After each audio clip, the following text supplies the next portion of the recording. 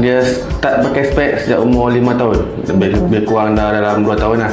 Power anak saya sekarang untuk rabun 800 lebih.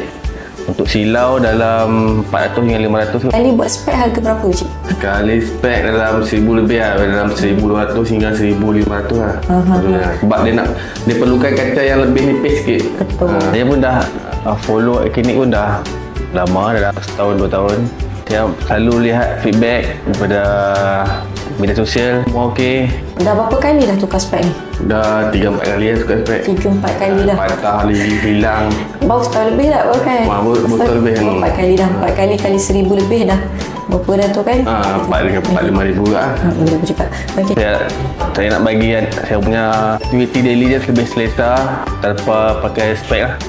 Dia pakai spek tidak selesaan dia untuk aktiviti dia, dia, dia nak main ke dengan kawan dia.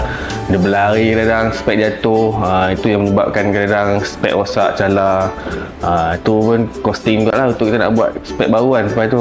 Saya yakin Akinik boleh selesaikan masalah anak saya yang pakai spek untuk rawatan auto care